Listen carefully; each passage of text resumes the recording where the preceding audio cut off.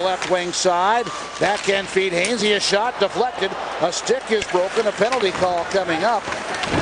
And a penalty be on Columbus as Shea Weber just came in and hammered back against the boards, the Blue Jacket player.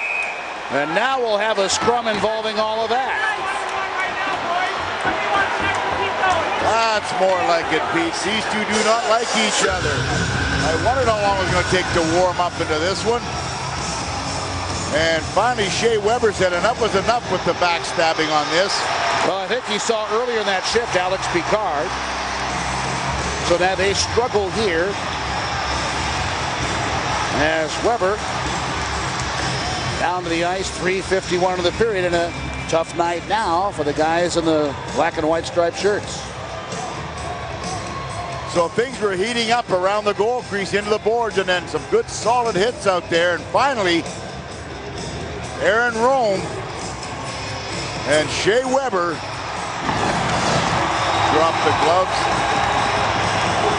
So cross-check in front of the net was 21, Picard. He started the, then Picard runs. Smithson from behind, and Picard had been asking for it, so Weber said, fine.